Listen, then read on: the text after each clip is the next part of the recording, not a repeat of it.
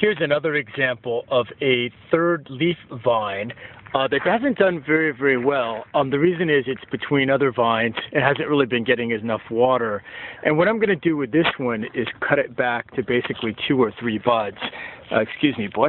Um, and so, in looking at it, if we look this this right here, this shoot, uh, is above the graft. There's the graft. Um, these are grafted vines uh, by Nova Vines.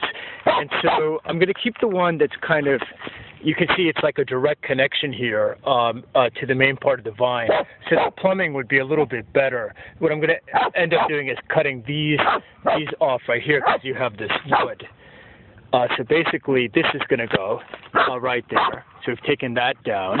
We're left now with one shoot here. This is really, really weak growth up here, and therefore I'm going to go ahead and cut it back. There's one, two buds right there. I'll keep a third just in case because these things they do break. Um, so I've cut that. Um, I can cut just a little bit more right here. All right, that's cut away. And then I'll go ahead and take my grow tube and put that around it to protect it from the rabbits.